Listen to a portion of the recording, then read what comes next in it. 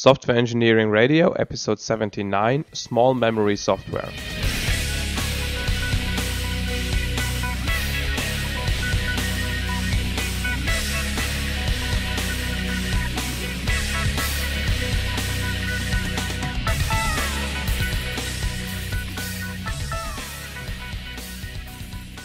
Uh, welcome, everybody, to this uh, yet another episode of Software Engineering Radio. This episode is part of our embedded series, and we're going to talk about small memory software. Um, before we introduce our uh, guests or interviewees, uh, I'd just like to say a quick thanks to SIGS Datacom, the organizers of the OOP conference, because they gave us this neat little room here where we can record stuff in a quiet atmosphere as part of the OOP 2007 conference. Um, it's actually not easy to get these kinds of rooms at conferences because everybody wants one. So it's really cool that we actually got one. So um, welcome, Charles and James, um, to the SE Radio podcast. Um, why don't you introduce yourself and talk a little about a, a little bit about your background? Hello, I'm Charles Weir. I run a small software development house in the north of England, Penrillian, and uh, small but expanding and we specialize in software for mobile phones. My background was as a consultant in object technology, uh, teaching and uh, working with people when in the days when C++ and Java were still a really new concept. and um, as part of that, I did a lot of work with Symbian as a technical lead. And when James and I were casting around for something to write a book on, we realized that one thing that we really shared was small memory, this having worked with small machines and working with small machines. Over to James. I'm James Noble. Um, I'm Professor of Computer Science at Victoria University of Wellington in New Zealand. And in fact, for the last uh, few months now, I've been on sabbatical in Europe. I'm currently a, uh, academic visitor at Microsoft Research in Cambridge, mm. which is certainly an interesting place to be. And um, as Charles said, I worked with Charles on design patterns for a number of years, and we thought that there was important best practice, the kind of things that programmers do and that programmers have been doing for a number of years, that in some ways was being lost to um, the object oriented community. Mm. Um, with the emergence of lots of small devices like that rather neat uh, recorder you've got yep. there, Marcus, um, issues of memory size really don't go away uh, even as the technology continues improving. And we were interested in documenting and making that practice available uh, to developers more generally.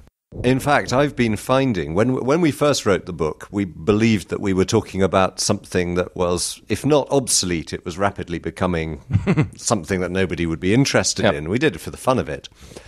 Actually, as I've been, um, you know, giving talks on the subject, I'm finding that far from being obsolete, this is more and more becoming mainstream. Small memory software yeah. is becoming something that, that I get bigger and bigger audiences for, and it is you know, ubiquitous computing and many yeah. millions of small machines is something that, that is becoming mainstream. So you wrote the book when? In which year? Uh, we actually published it in 2000. Right, and now we have 2007, and you're invited to the OOP conference and to talk about small memory. So that's kind of one of the proofs uh, that this small memory stuff is not getting obsolete. Exactly.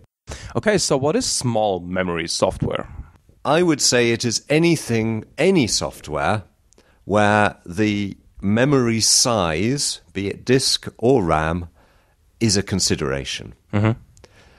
Now, it's surprising how many how many situations that is actually not true. You know, most most uh, workstation applications mm. really running out of memory can be considered completely fatal. You don't have to worry about it. If it happens, something's gone horribly wrong. Yeah. But in in any environment with less than about a meg avail- megabyte of memory available for processing, mm-hmm.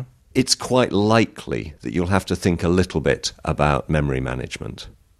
Certainly, all of the Symbian devices we work with, certainly anything embedded, yep. certainly anything with, with its own software that's produced in the millions, is going to have somebody saying, well, what if we made the memory slightly smaller? Yeah, it, that's this typical effect in embedded software that you don't necessarily have the development cost as the driving factor, but the per unit production cost. So better optimize the software for one more year, paying people, and get the amount of memory lowered.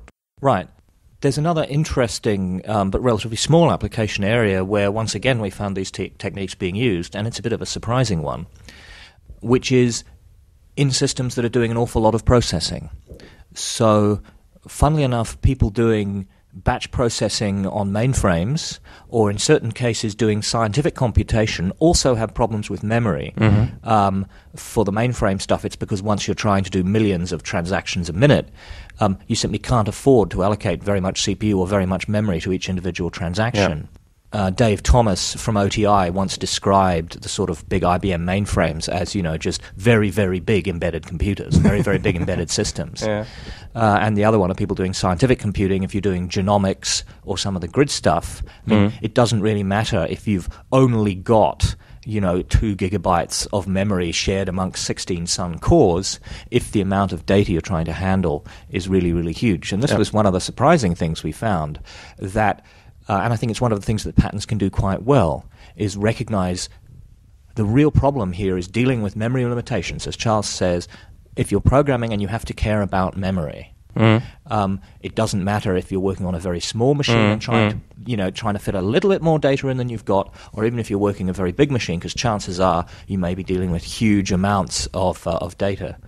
So it's, it's somewhat ironic in that it's the desktop applications are the odd ones out because typically in the desktop applications, one of the defining characteristics there is There's you know, one. we're willing to just ignore the fact that we might run out of memory. Basically, we'll page to the disk, and if the mm. disk fills up, fills up on your laptop, well, you're basically you go out and buy a new one. You know. Yeah. Although, if the disk fills up with only paging, there might be a more systematic error. well, you, you go out and you buy and uh, buy a new dual core laptop. Yeah, probably. one should distinguish, of course, memory leaks, which are an issue for almost mm. every environment, from this kind of small memory software. Which reminds me, what was that question you asked Charles at the start of his interview about what his laptop was doing? Oh yeah, it showed a blue screen actually. yes, yes. We, we've done um, interviews about like patterns books before, and the way we've done this typically, and I think which works quite well, is that we first give an overview over the different like parts, chapters, sections in the book that cover different kinds of patterns, different areas of concern, and then we dig into the areas and uh, look at some of the patterns in more detail. So let's do that too. Let's um, briefly scan over the different aspects of where you can actually be aware of memory and what you should and can do. The separation into categories is, is really something we did after we wrote the patterns. Yeah, so doesn't matter. think of these think of these as as chapters, and the simple one to start with is small data structures. So designing your code, designing your data structure so that they don't take up too much space. Mm. That, that's also the obvious thing people think about when they think about small memory systems. Exactly. Then we started looking at memory allocation, which is the different ways you can you can allocate memory, be it fixed, pooled, variable. Um, there's a whole section that is slightly more in the, the region of application functionality, which is using compression um, mm-hmm. various different types of compression. Then, if you're in an environment with secondary storage, disk or anything else, mm. then there are a variety of different ways of doing that. Mm-hmm. Um, and finally, there's a sort of overview in the way you architect the system, which we've called small architecture, um, a set of techniques that you can use to make a, a, whole application or an application environment work well in um, in a small memory situation. Mm-hmm. So it's funny that you, and then we talk about these things that you almost uh, uh, mentioned the chapters backwards. It was four, five, three, two, one. So um, does the book have the wrong order, or why did you why did you mention them in the other direction? I mentioned them the other way because of experience teaching. if you, uh-huh. you know, I liked I when you're when you're writing a book, in a sense, you you sort of start from the most abstract mm. and the mm-hmm. most interesting, and work towards the detail. Mm. Um, when you're teaching, you start with something that everybody can grasp, mm-hmm. and then work out to say, "Oh, and by the way, this is part of a bigger story." Mm-hmm. mm-hmm. But I, but I suppose were Addison Wesley to come and offer us a second edition, clearly the way we would make a, a valuable difference to the book is that by just changing the chapter order. Yeah, yeah, yeah, yeah. Okay, so let's look at some of the small data structure patterns. Oh well, shall we start off with my my favourite little packed data, mm-hmm. which is very simple. We call it bit munging. Mm-hmm. You, if you have if you have a lot of data which can be compressed, normalized, whatever it might be, you just take it and you pack it into small number of bits, and that way you can store an awful lot more than you would if you used full bytes, pointers, and the whole the whole gamut of normal fast programming. No. So I, uh, as an illustration, we considered how you would get an entire telephone directory into a couple of megabytes, and with a certain amount of normalization, storing, figuring out what telephone numbers actually look like, and using their using features of that, you can do it. The obvious example, I think, is that uh, typically booleans, I think, are stored as bytes, although they only contain one bit of information. So that would be one thing of compressing significantly. Well, right, and and if you're in uh, in Java, it'll probably store it as a word or something. so you know, it's got to be an instance of the class. The trade-off is obviously that working with this stuff is much more complicated than using the simpler data structures. Yeah, you're right. And in some sense, though, one of the things we point out in the pattern is the way in which, effectively, by either using macros or accessor functions, Right, right, depending right, on your right. language, um, you can try and abstract that away so Yep. that the um, the packing, the data representation, doesn't sort of infect the rest of the Yeah. code that you're writing. Yeah. Yes, in fact, we we typically recommend we recommend that you have a class that wraps the packed data, Right. and so the class is used the same as if it was not packed, Yep. and it's an implementation detail of that class as to how it actually stores it. So this is interesting that um, even if you're doing Java, which you, you might be on a mobile phone, you can still use bit level packing um, because what you do is you basically use bit operations on standard Java integers um, to put the information in and that, and you can you can have a Java class to, to do things that way. Yeah, but I was just think, thinking about this. If you have a wrapper class actually, and you have this bit structure that c- captures a number of booleans, and then you have a function that wraps it that returns a boolean, you of course still have a transient boolean object created. So you do have a, an efficient storage, but you have this temporary boolean big big object that's passed around. That's right, and it's built into Java already. Of course, Yeah. you have these capital int classes wrapping something that's actually only a four byte integer. Yeah. Um, Another thing I might mention is if you look on the website smallmemory.com, we have the sample code that went into the book. So there is an example of Java bit packing there, as indeed of most of the other patterns. Okay, let's look at the next one. The next one, I guess, if we're walking through small data structures, is sharing. And once again, this is another very straightforward idea, straightforward pattern, which says if you have a common information used in more than one place, um, rather than duplicating it in your program, uh, you just share it. Um, you store it once and then get it from whatever context that you want. Yeah, although this creates the whole problems of uh, concurrent access if you're in a concurrent program. So, so I'm saying the, the concurrency concern works against this because that would you, you would have like non-shared data and replication ideally. Right. So the first question is, you know, what do you do if you want to change the data? Typically, so if you've got concurrent read accesses, you're going to be all Right, right. no problem. Um, which, in some sense, segues nicely onto the next pattern, which is copy on write. Exactly. Yeah. yes. so if you are sharing stuff, I mean, essentially, one of the things the sharing pattern says is, you know, you can certainly share stuff that's immutable. How then do you change the stuff you're sharing? Okay, well, maybe you provide copy on write, Yeah. which is nice because it can give you the illusion of having uh, every part of the system having their own private um, modifiable data structures, but in fact, you're only going to use the memory when you actually need to, when you actually make that change. Yeah, which is a form of kind of lazy acquisition of memory, which we'll discuss later, I guess. Right. Yeah, we will because there are situations where that's that is wise, and there are situations where perhaps you don't want to do that. Yeah. Yeah. My favorite amongst the small data structures is multiple representations, mm-hmm. which is where you have one class or interface and it and it chooses internally the best representation, the most memory efficient representation for the particular application.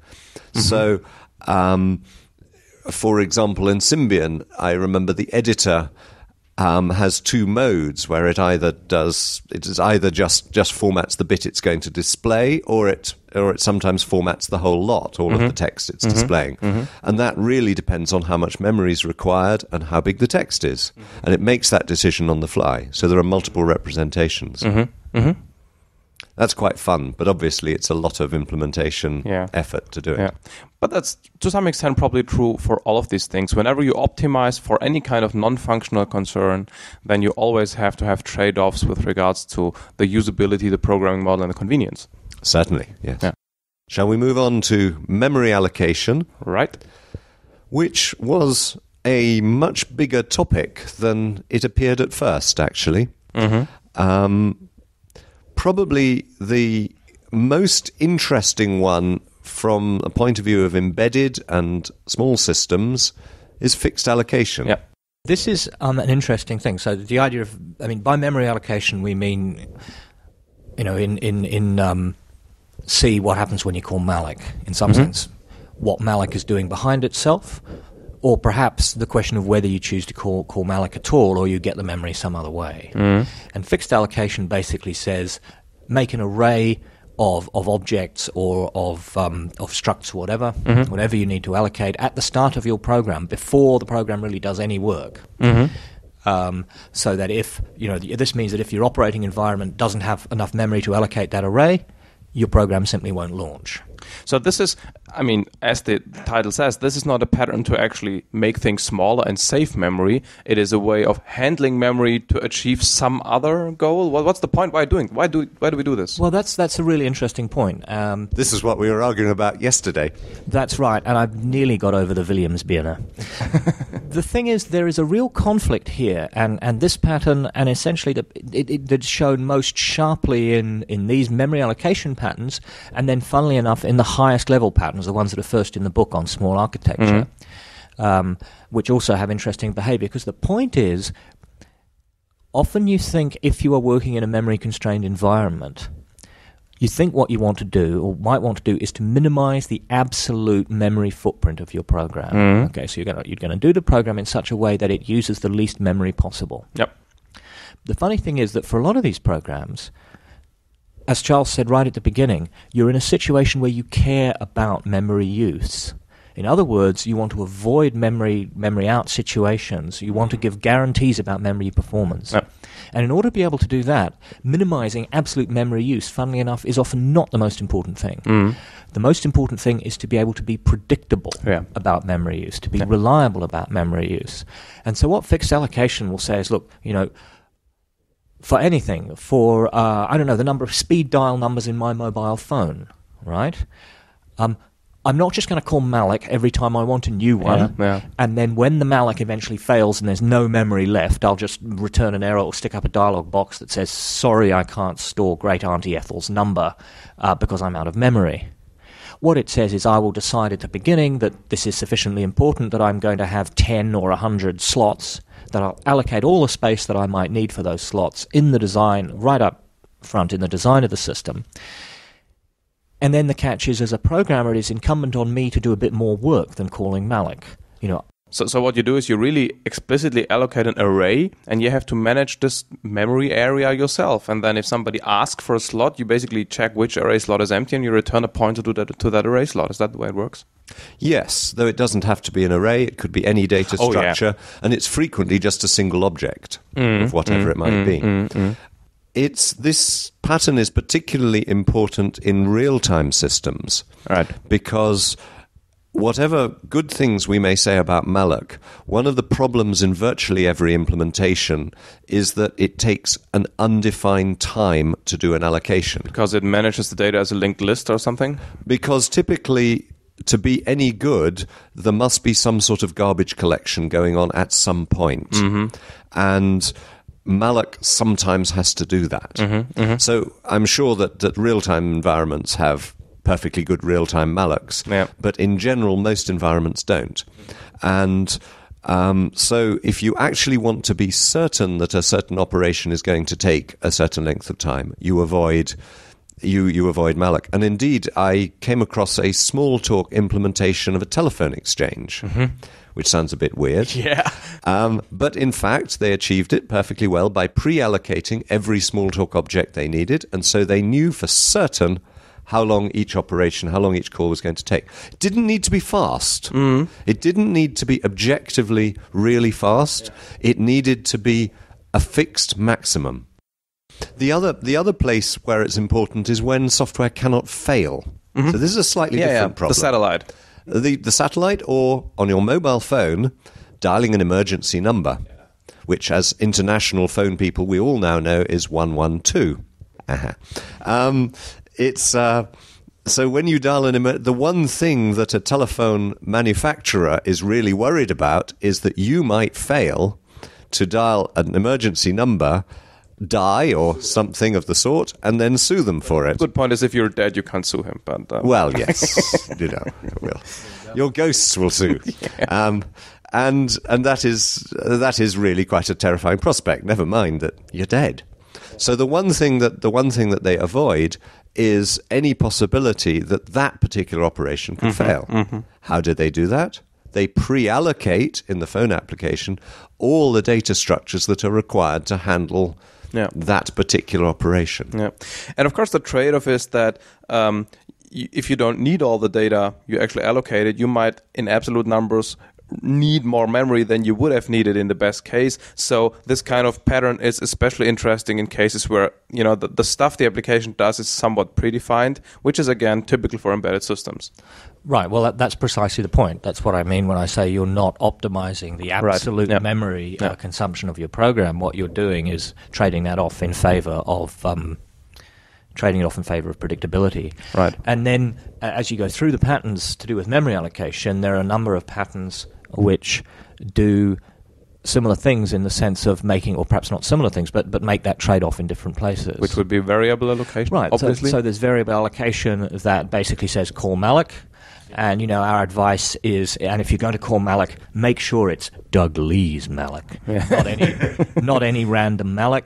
Um, and you know, wearing my professorial hat, um, I will say that you know people have actually done a fair amount of research on memory allocators and using malloc, and hmm. that for a lot of situations, it's almost if you don't need predict- predictability, you are going to get as good or better performance by calling a good malloc, which is why I mentioned the, the, the Doug Lea's malloc, DL malloc, um, than you would from code you're writing yourself. Mm-hmm. You know, mm-hmm. unless you're as good at writing memory allocation code as Doug Lea, who's been doing it for 20 years. yeah.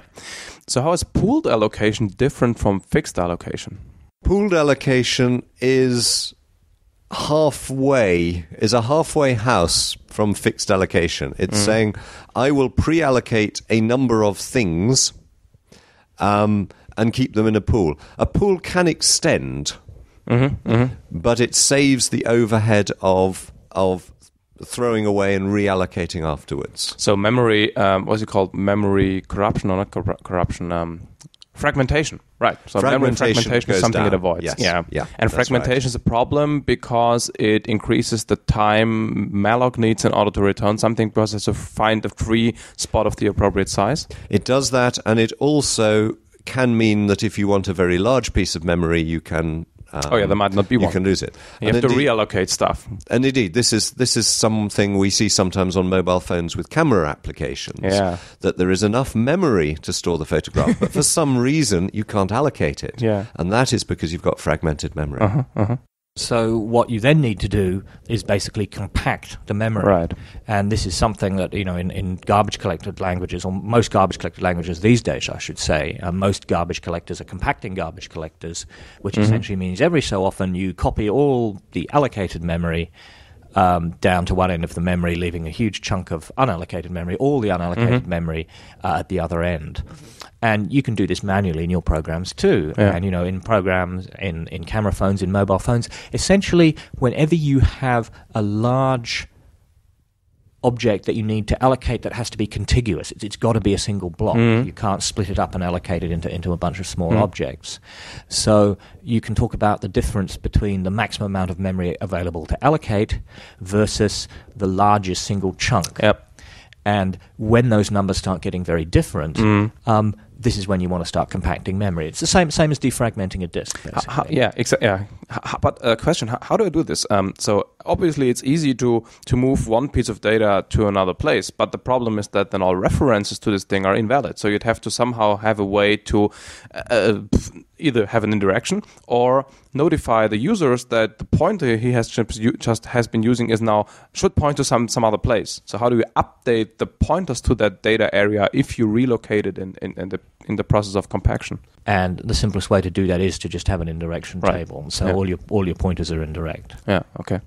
There's another way of handling the problem if you're in the sort of environment which doesn't actually support this easily, which is C or anything which has fixed memory objects.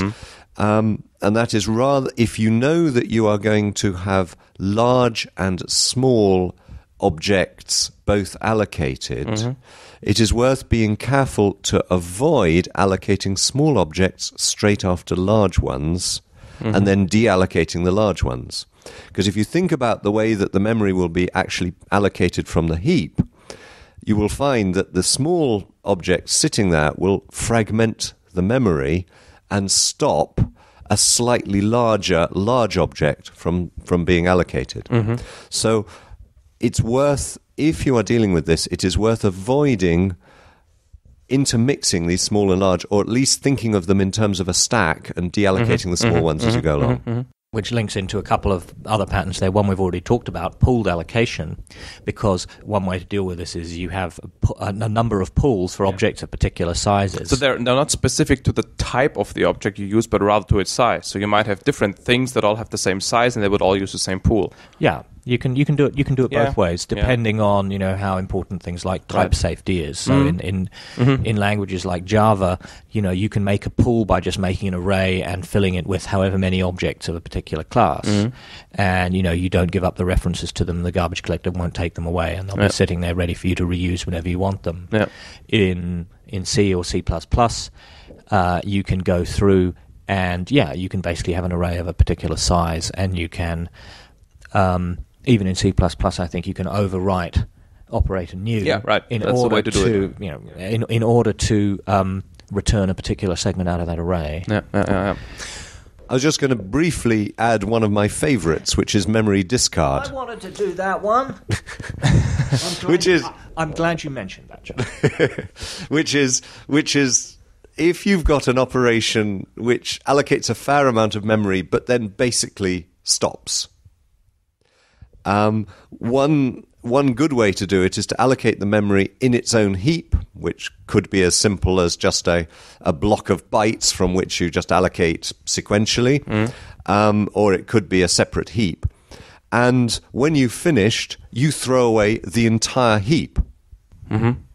Um, and that can be that can be a very effective way of managing memory. It means you don't have to go around deallocating all the objects. Yeah. It means that the allocation from the heap can be really fast, um, and it's and it's tidy. Which kind of moved us from men- memory allocation to deallocation.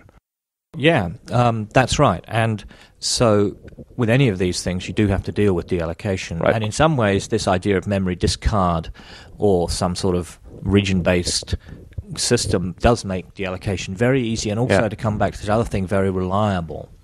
So, um, again, with real time systems, and funnily enough, the Java real time standard, the RTSJ, has got built in support for it uh, if you are willing to contort your code in order to, to make use of it. Um, there are certainly some issues with the design of RTSJ, and, and I think the, the new version coming out in, in, you know, in another year or so is going to be much better, particularly with regards to memory allocation.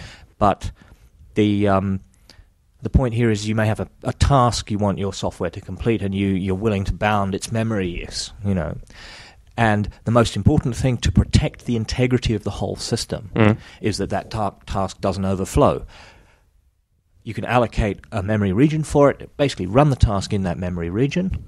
In some cases, it can be as simpler as being, you know, we can just make sure that we've got a megabyte sitting at the end of our stack and then allocate everything on the stack mm. rather than going to the mm, heap. Mm, and then when that task finishes, when the function returns in um, the RTSJ, when you deallocate the method um, that holds the region, all this temporary material just goes away without you having to do anything. Mm-hmm, mm-hmm. Uh, and then next time, perhaps around the loop, you reallocate or in fact, you just have this allocated thing and you just start using it again Mhm. from the beginning. And that's another very effective way of doing this. So let's let's briefly touch upon reference counting and garbage colle- garbage collection, I guess, which are the two primary means, I guess, of uh, managing the deallocation of, of data. Reference counting is something most people are probably familiar with. Mm. It's it, it's common to um, well, I've seen it a lot in string implementations, for Mhm. example. Uh, you keep a reference in the underlying object, and as users come and go, they increment and decrement that reference, and when it becomes zero, the object deallocates itself The increment, the decrement, the counter. the counter within the object. It's it's good uh, for simple objects and simple tree-like structures. It has difficulty when it gets into cycles where an object mm-hmm. points to another mm-hmm. object, mm. which then points back again, and those reference counters can never get to 0 And that's mm-hmm. why it's not used as a basis for more sophisticated allocation schemes. So, so, and and you, obviously, reference counting is something you'd have to care about if you don't have automatic garbage collection. Yes. If you still want to not really do it manually in your application in C++, for example, you'll have smart pointers, which then, if you deallocate this pointer on the stack, it down count, uh, decreases the, the counter of the object it's pointing to. Yes, in C++, the destructor is the place where you Exa- do yeah, that right, yeah, yeah, yeah, dereference yeah, reference count. And garbage collection is probably something for a different episode, maybe because it's a huge topic, I, I guess.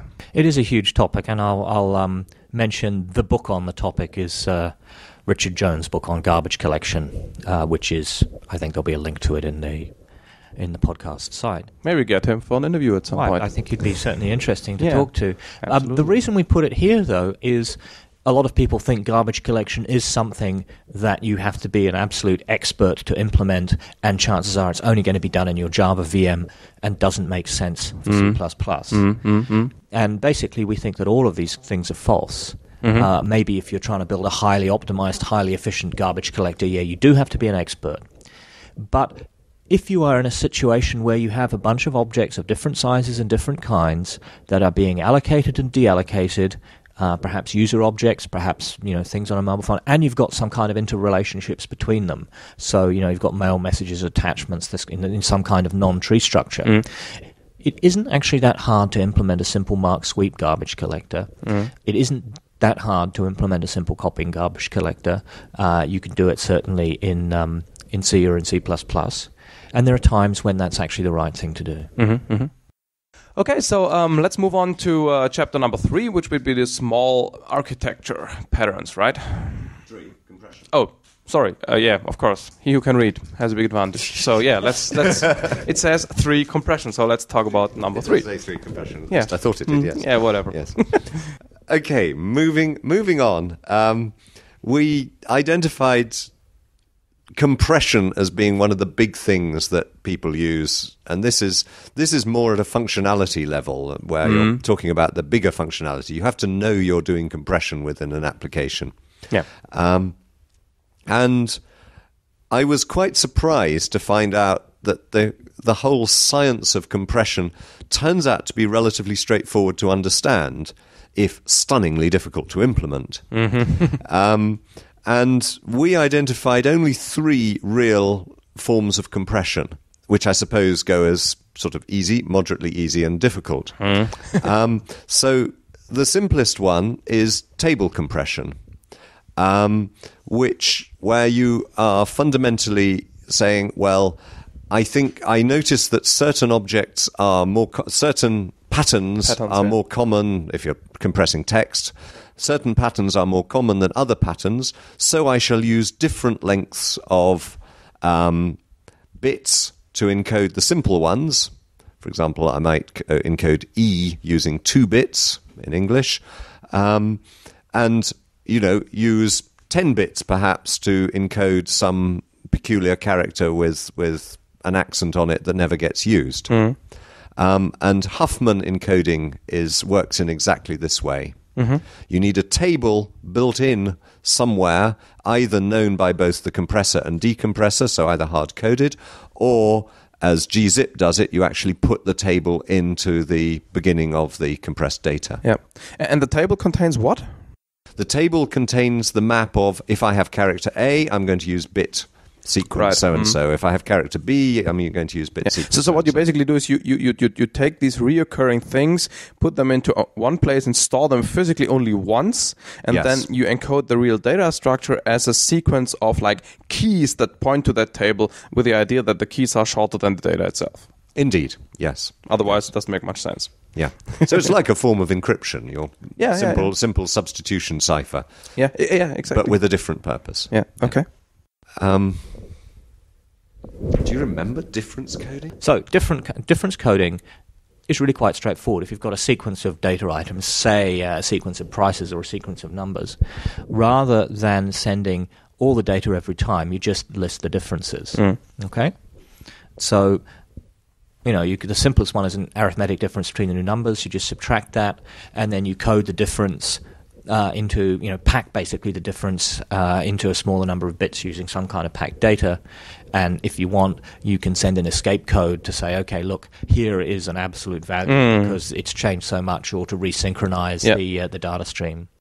A variant of that is um, when you have sequences that are the same, you can send them as Run length encoding? run length encoding. Right, okay. Indeed. I was thinking about that Which when is- I saw difference coding. which is commonly used in, uh, most commonly used in the TIFF and the fax Right, image coding. But then, if you think about the way things like SyncML work, um, if you're syncing your phone or something, Mm-hmm. that's effectively doing difference coding as well. It's saying rather than sending the entire contents of your memory Mm. um, or storing the entire contents of your memory, we'll just store the stuff that's most recently changed. Mm. And you need probably some kind of primary key or identifier in that case to say this is the thing that has changed. That's right. In that case, you do, and you know this is the thing that has changed, and perhaps even, and these are the fields of the things that have changed. Mm. Do we talk about adaptive or do we? Well, adaptive compression is the use of more sophisticated compression algorithms than we've two we talked about. Uh, the good news is we have a suggested implementation strategy, which is basically go buy one of these things.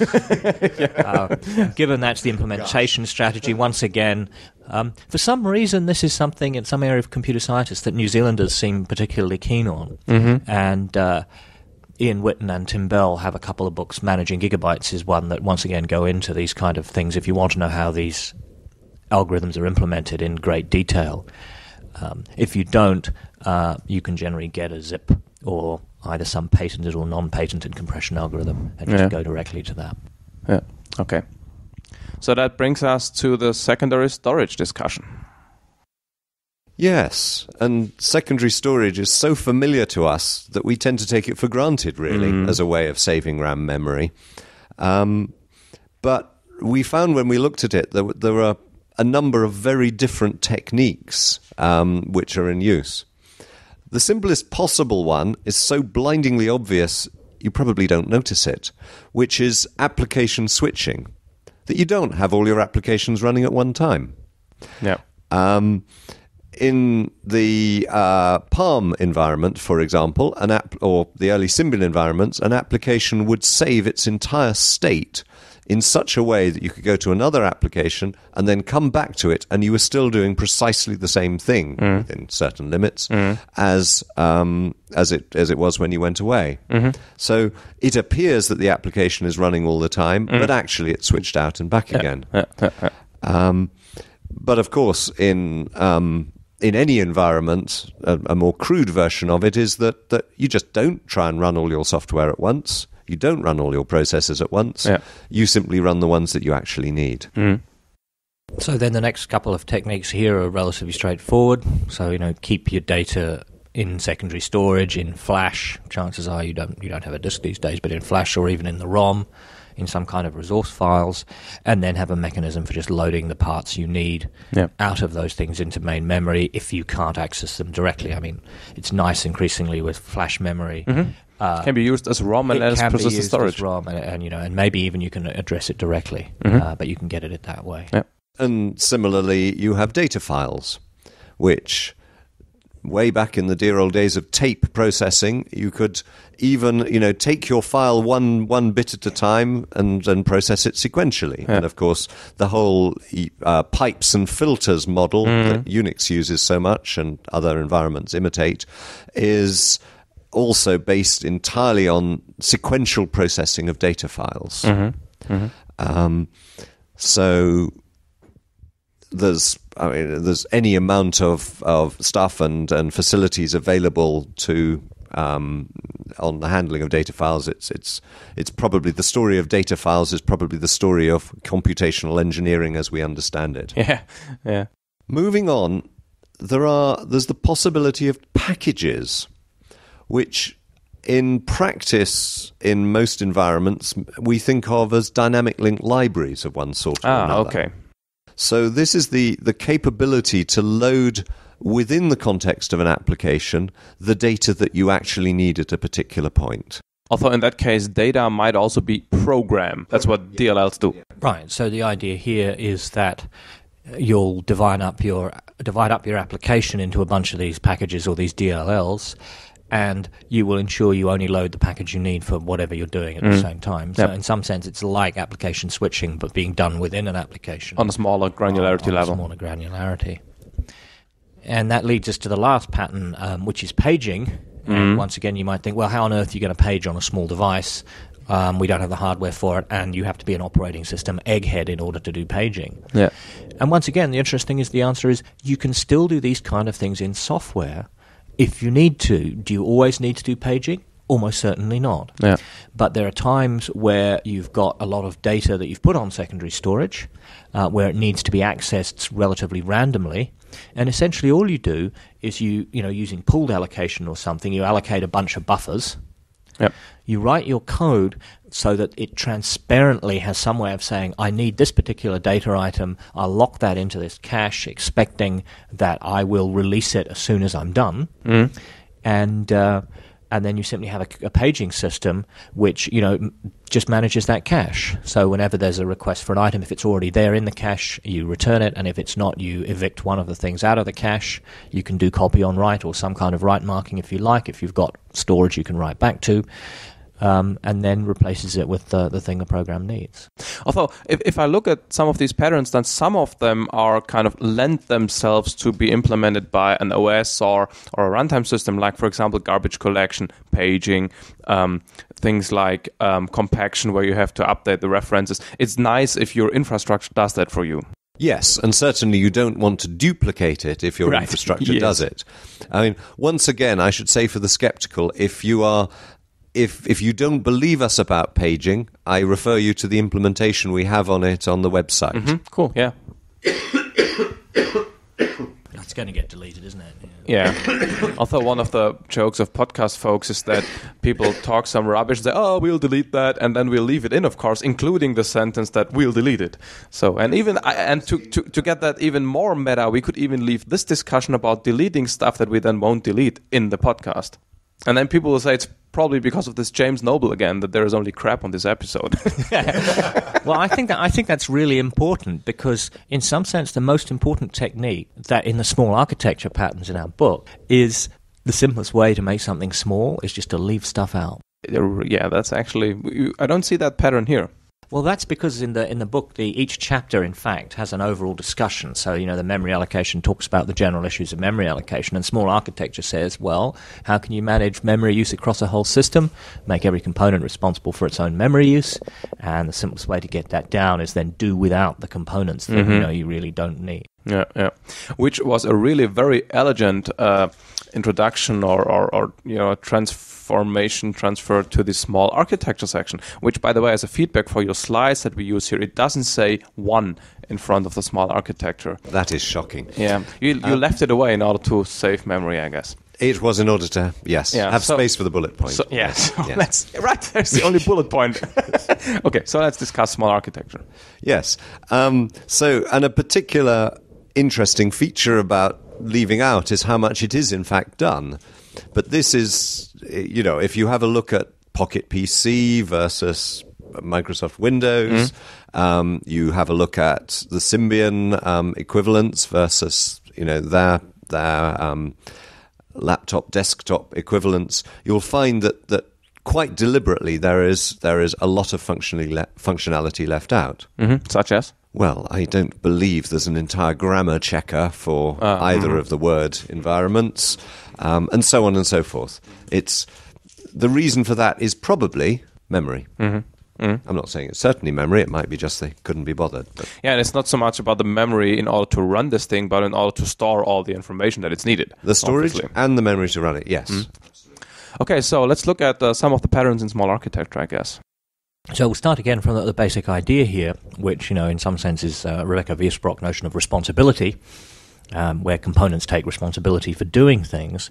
And what, what, what we're saying here is when you're designing the architecture of your system, you should think about this as components not only taking responsibility for their functional behavior, but also take responsibility for their memory use. Yeah. And then you know you can see patterns here. So the first pattern that you one could actually implement here is memory limit, which says okay, a component's taken responsibility. It should only use a certain amount of memory.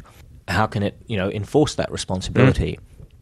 And basically, what you do is you set some kind of limit for each component, and then just don't let it allocate more memory uh, than it's been granted. But that would mean that the allocation infrastructure has to know who allocates memory. So you'd have to pass on like this pointer and says, "Hey, it's me. I want more memory."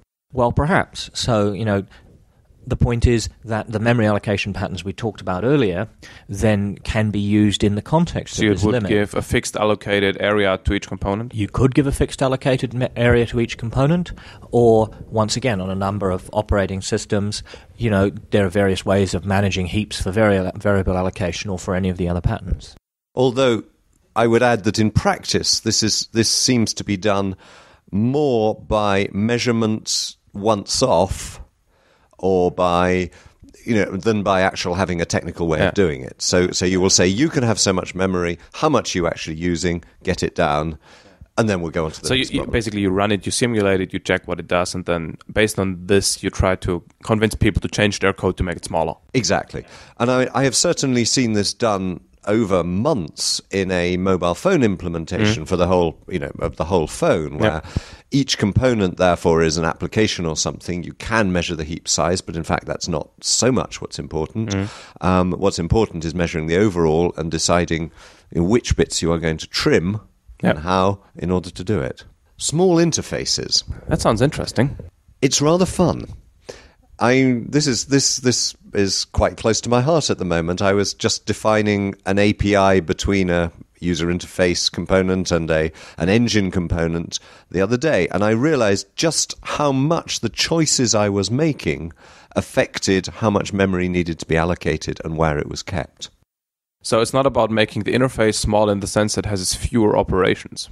No, this is about making the interface small so that its demands on system memory are small. Let me give an example, uh, a slightly contrived example, but supposing I was passing a photograph between two components, mm.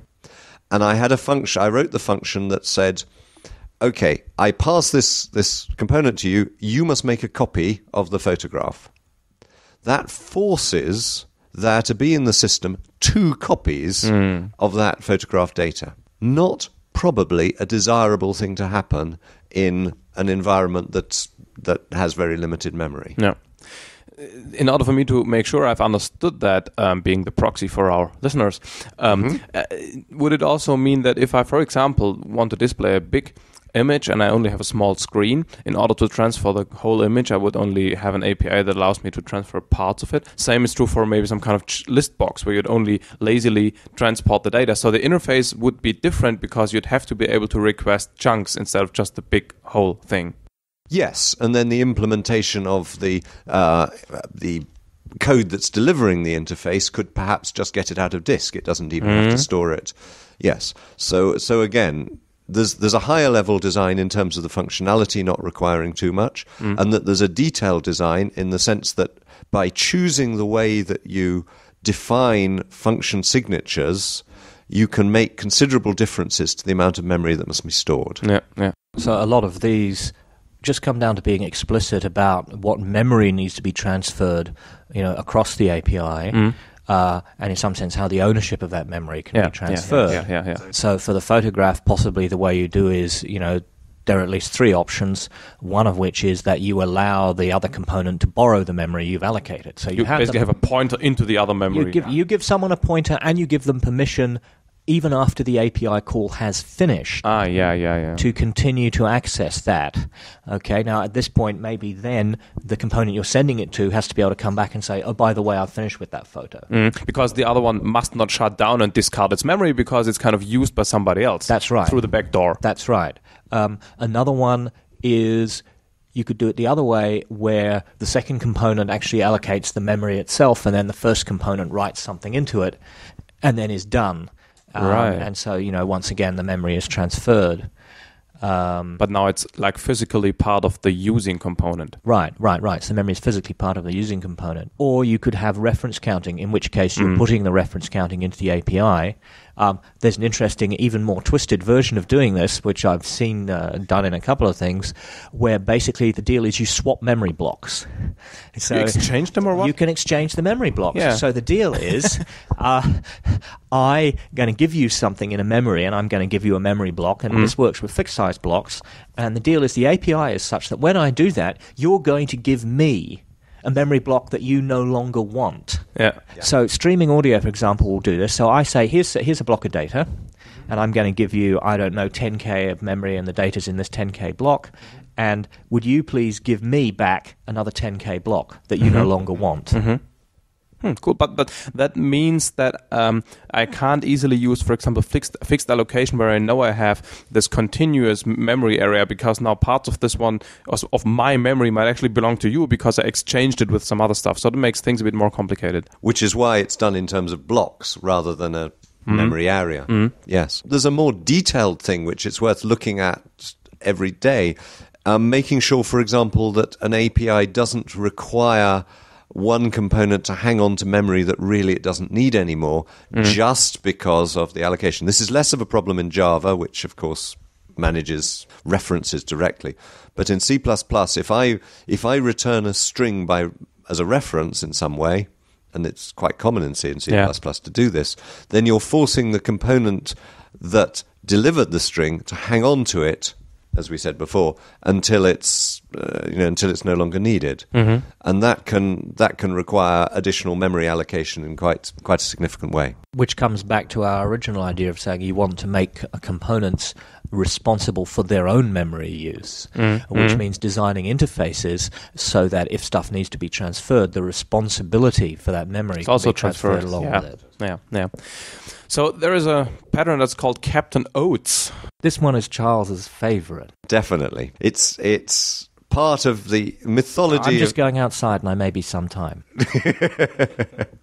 part of the mythology of, of the English culture is the story of an unsuccessful um, trip to the South Pole done by Scott. And and as they were as they were limping back home, it was clear that the team were not going to survive. At least they hadn't food to keep everybody hmm. going. Mm. And the heroic Captain Oates, at some point, left, walked out of the tent, saying, "I'm just going out. I may be some time." And his sacrifice was to allow the others to live. Uh-huh or to die a little later. As it turned out. But never mind, it was heroic. It was heroic. Yeah, indeed. And, and this, the Captain Oates is the concept of the heroic application or the heroic component that gives up its memory in order that more interesting, more relevant, or more important applications may live. So, say you're writing the ubiquitous clock, or you know the the ubiquitous animated screensaver that no self-respecting embedded system can be without. Um, often these, you know, and once again, often an operating environment will have a signal that goes goes through and says a low memory. Well, the simplest way to do that is, you know, for your clock just to go away and uh, let the memory be used by perhaps something more mission critical like the, the IM chat client or something. And I'm delighted to say that this is now an essential part of Symbian OS, and indeed it is built into the testing of every single application.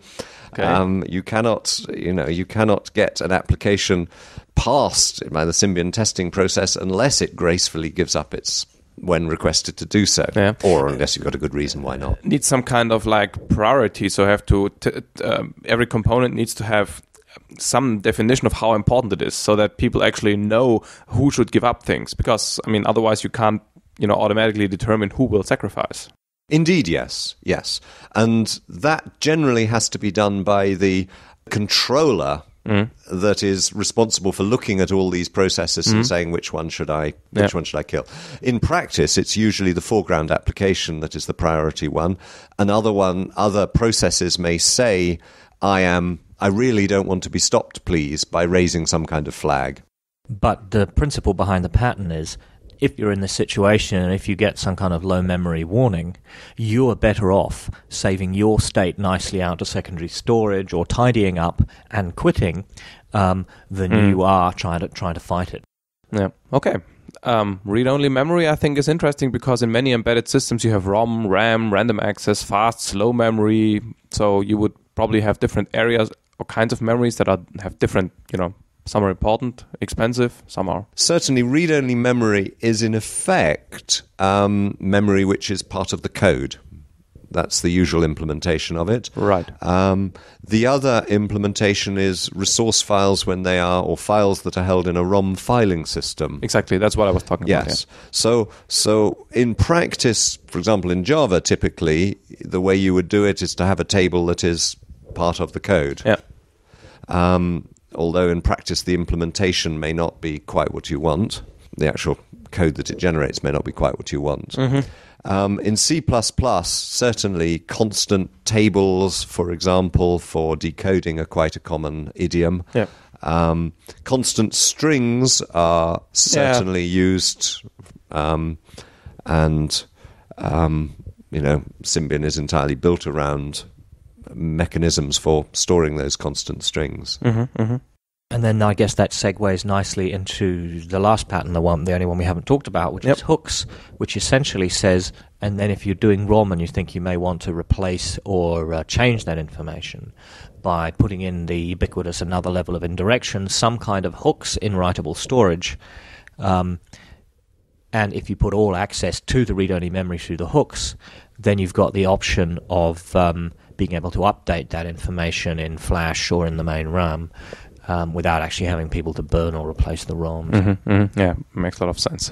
yes, and that can be done in a variety of ways. Um, from having files, you know, located, loaded, looked for first in RAM and only afterwards Yeah. in ROM. So, um, which is an idiom used quite often, again in Symbian, um, which means that you can override the ROM version of it, but you won't want to most of the time. Okay, so um, this was the run through through the book. Um, uh, is there anything? I mean, which means we're almost basically finished with the interview. So, is there anything else you wanna you wanna say, like a couple of concluding words or whatever? I find I'm using these patterns quite a bit, actually, in practice. Um, some many more than others. Uh, small interfaces, probably most. It's it's quite worthwhile. Um, I find it absolutely great that we're, you know, that this is becoming mainstream again. So the other thing, you know, we can see that this is in fact stuff that is still current because in their own separate ways, both, you know, companies like Microsoft and IBM and Sun are looking at doing versions of their platforms for um, small memory. Yeah. Uh, and in certain cases also pushing things up into languages. So there's things like the real-time spec for Java, Right. um, then the latest versions of Windows CE. And in fact, if you look at the systems, and this is actually something I, I find quite gratifying, if you look at the way the designs of the systems are evolving, um, they're evolving to support um, quite a lot of the patterns we've been talking about. So, you know, the RTSJ, for example, has got stuff in there to support fixed allocation and variable allocation, although it's it's currently difficult to use, and I think uh, people are working on that. And um, the the Windows systems have got support in there for pooled allocation and, and memory discard and all those kind Yeah. of things built in. Yeah, it's always sometimes this discussion in the patterns community. You know how how how much pattern how how patterny a pattern really is. So how much how much you know how common is it? How how generally is it usable? How generally is it, is it applicable? And it's quite obvious that these things are really really fundamental ways of handling memory. So that's it's really cool stuff. Yes, indeed. Glad to be up there with the forefront. Yeah, That's right. Technology as in 1950. yeah. so um, I just want to say thank you because I think this was a really really cool episode. I really liked it. Maybe it makes up for the other one. Okay, so thank you very much for being on the show and Thank you very much, and it's been great to be here. Indeed so.